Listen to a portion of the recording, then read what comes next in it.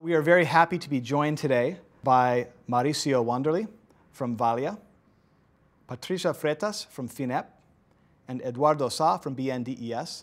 Welcome to all of you. Thank you for being on PrivCap today. All of you are institutional investors in the private equity asset class in Brazil, and so I'm very interested to hear your uh, perspective on the industry. First of all, maybe we can start by talking about where Brazil is right now in terms of the development of its private equity industry. I've spoken to many Brazilians who believe that there's a very good moment for uh, uh, private equity in Brazil now. What does that mean? And I wonder if, if you agree, and maybe we could start with uh, Patricia.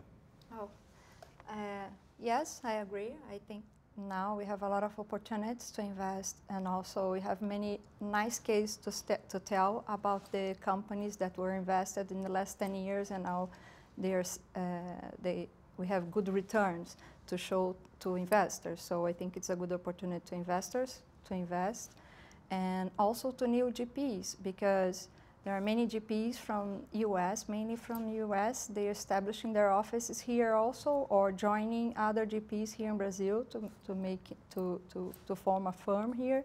So it's also an opportunity for international GPs. Mm -hmm. Eduardo, do you agree? Is it a good moment for private equity in Brazil?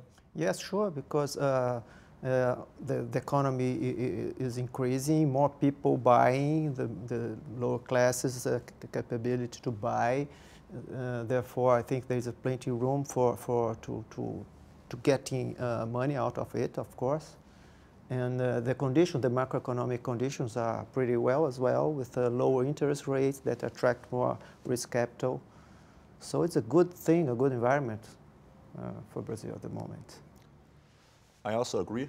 I think from a pension fund perspective, uh, we are living now uh, a, a, very important moment for pension funds because we are in the middle of a, a reduction of the real interest rate here in Brazil.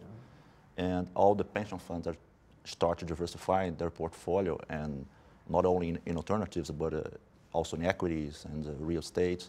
It's a process, a process that's uh, happening right now, and I think that this moment of Brazilian economy is very good to this transition from a, a high level of interest rate environment to a, a, a lower interest rate uh, situation. Well, let's talk a bit about the history of the institutional investors of Brazil in private equity. Why did they start to get interested in private equity as an asset class, and how has that evolved? And maybe we could start with Eduardo. Yeah, well, since the, the Plano Real, 1994, I think there was then a, a sharp reduction in inflation. And therefore, then, like Mauricio said, it's, it, started to, to see how to diversify the, the portfolio rather than just put into something that protect against inflation, like the, the, the, the public uh, uh, bonds uh, from the federal government. Then there was still the, the, institutional investors started to think, well, let's think about putting more money into long-term assets, and then the private equity came, came in the mid-90s, but they really pushed it after the 2000, 2003, 2004, and then there was a real push because the economy was uh, really increasing and the interest rates getting uh, uh, uh just reducing. Therefore, then uh, I think that's the story somehow of the institutional investors. Yes, I think before that they were investing through private equity, but only huge deals, not small deals or venture capital and other uh, asset class. But not, uh, after 2003, 2004, they start to invest also in other type of uh, companies, really looking more for the returns that came from uh, value added by fund managers, value added by others uh, that invest in the companies. Well, that's a very interesting point, and maybe Mauricio, it sounds like as the pension funds and other institutional investors have become more involved in the private equity asset class, they've become more diversified.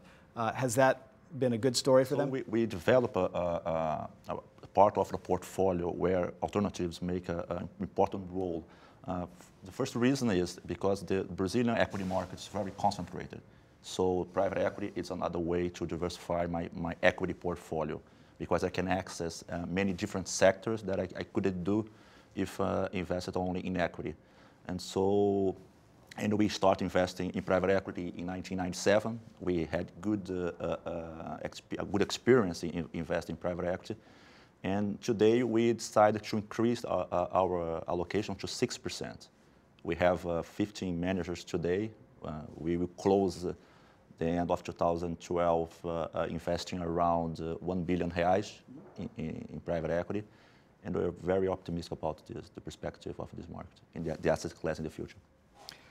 So today in the Brazilian private equity market, uh, what is the appetite of the local LPs for private equity? What, you know, what, are, what are they looking for and what are their restraints and what are their new, new opportunities? Maybe starting with that, Eduardo. Well, um, of course, the LPs, they uh, usually, the, the, I mean, the bigger ones, they, they tend to go to the, you know, the big, uh, to the private equity and, uh, for, you know, for the big funds and take part in the, the buyouts, for instance. But for instance, in BNDES point of view, we, we try to be in all the range of the venture capital, the seed capital, the growth, and, and then the private equity and the pipes as well. So uh, we, uh, we, we, we want to stay in all this, uh, uh this stage. And, uh, and of course, and we, we, uh, we have perceived that the, the, the investors, not only the, the big institutional investors, but also their family office, for instance, they are coming along and taking the risk for long term, you know, change the mindset of people not to go only to the stock market. Mm all the major pension funds they are already, uh, they are already investing or they are close to start investing in the private equity industry, but the smaller pension funds they are not investing. We don't have yet any fund of funds. Uh, in the last, like the last year, we received some fund of funds from international. Uh, international they came to brazil but they're establishing their offices now but they didn't uh, launch a fund here yet, a fund of funds only focusing on Brazil. So I think there is a lot of opportunity for the smaller pension funds in Brazil to invest through fund of funds because mm -hmm. it will be very tough for them to invest uh, because they don't have a team to take care of this type of investment and they need to invest each year to have a good portfolio of funds. So mm -hmm. maybe it's a good opportunity also for a fund of funds to attract these smaller investors. Um, can you talk a bit about the, um, now that Brazil is a very popular place for people around the world to invest their capital, what has been the influence of the um, uh, of international capital in the local Brazilian private uh, equity industry?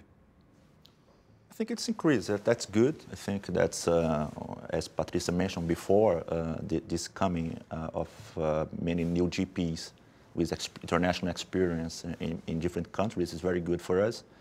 Uh, and so, and I think that uh, we have uh, uh opportunities in many different sectors here in Brazil, and, and uh, the need of capital is huge. And so, we believe that makes sense. In, in our portfolio, for example, many times uh, everybody complain about competition in buyouts and the price is increasing. But uh, in our portfolio, we can see that uh, we have good deals and reasonable prices. Uh, we can't see this inf price inflation in our portfolio specifically. I think from Brazilian perspective, uh, it's nice to have international investors in the same vehicle uh, because we have a lot of opportunities besides the huge market that we have here for the local companies. Uh, this company has a, uh, an opportunity to be globally and to have international investors and national investors in the same vehicle. They all will benefit from the returns at the end. Mm -hmm. Mm -hmm. Um, well, let me ask the three of you briefly. As experienced investors in private equity and having seen private equity in Brazil evolve, what are your expectations from the asset class in your own portfolios for maybe, let's say, the next 10 years or so? Maybe we could start with uh, Valia. Well, a, as I mentioned before, a, it will be a very important part of our portfolio for the next years. Uh, uh we have this challenge to continue uh, uh, generate uh, returns to match our liabilities. That's our target. We have our largest plan is a DB plan with a actuarial rate around 6% in real terms. And so this diversification process is important And, and we believe that the, the returns that will be, given by the private equity, uh, uh, uh, private equity ventures in the next years will be very important to complement our allocation and match this actuarial rate. Patricia, what are your expectations for private equity? Uh, we, we are investing since the year 2001. Now we have uh, like 24 funds and, uh, that we committed capital, so it's a huge uh, portfolio of funds, and we will continue investing. We, we would like to see more venture capital. We, we think there's a lot of opportunity in this middle. And we saw a lot of companies that were fostered by the government in the last years related also to innovation and now the companies are here and there are not so many venture capital funds investing. So we would like to invest more in venture capital. Mm -hmm. Yeah, Patricia raised a very important aspect, which is innovation, and uh, we we have received uh, uh, GPs from outside, even from and even uh, LPs. I mean, strategic ones. They are coming along uh, to Brazil to, because they, they see plenty of opportunities in innovation uh, particularly in telecommunications, for instance, but we can see in biotech and clean tech, renewable energy. So um, that, that's a very, I think there is a, a lot of opportunities ahead to invest on these things that are happening and, and, increasing demand from you know big companies, oil and gas, demanding more clean tech uh, devices. So uh, this is another very important thing that uh, uh, it might attract more the private equity and the venture capital. Very quick question. When do you think uh, local pension funds in Brazil will be able to invest in private equity internationally? Is that being talked about? Well, um, I think uh, all, all, the pension funds are, are, to make a local movement uh, at first. Uh, I think that if you look at the Valia portfolio right now, it's continued being very concentrated in fixed income because we, in the past, uh, the, the, the, level of interest rates here in Brazil it's, uh, uh, led to this situation. we have 60% allocated in, in, fixed income. so it's a case of Valia, but Valia started diversifying many years ago. But the rest of the industry continue concentrating in, in, fixed income. The smaller pension funds, they are concentrating fixed income. And so I believe uh, everybody, the largest pension funds, they are studying international diversification, but uh, it will take a little time to do that because uh, in our case, for example, we are executing our private equity program. We believe that uh, at the end of this year, we will get our target allocation. And after that, start looking at uh, private equity outside Brazil. But I believe the industry needed to diversify not only private equity, but even in equity. The, the, the allocation of equity in, in Brazilian pension fund industry is, is low compared to international standard. So in real estate also. And so we have a, a long road ahead sure. to so get you're, there. You're just, just starting to yes. really diversify. Talking about the industry. Yeah. But, but, some the largest, I think it's um, two years, one year ahead or two years, they will be starting fast abroad.